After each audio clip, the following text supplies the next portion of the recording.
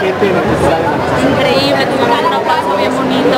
El arranque fue complicado porque no había la cantidad de lentes, llegó, era un auditorio, no un cine. Entonces llegó más gente de la que se esperaba, lo cual es increíble. Y la gente se la aportó, se quedó, eh, se involucraron con la película. Es bien padre ver la que público y ver que reaccionan a lo que tú ya sabes. Yo la veo ya no me asusto ni nada. Ver a la gente que brinca, que se ríe, que se asusta, que reacciona a los estímulos de la película, pues es increíble.